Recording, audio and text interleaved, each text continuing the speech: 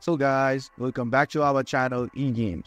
Today, I'll be teaching you guys how to open the inventory on Red Dead Redemption 2 using the Xbox controller.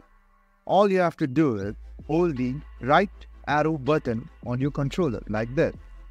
So, this is how you open the inventory on Red Dead Redemption 2.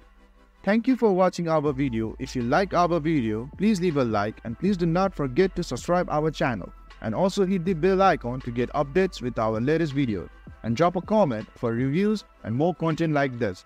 I will see you guys again in our next video. Thank you for watching.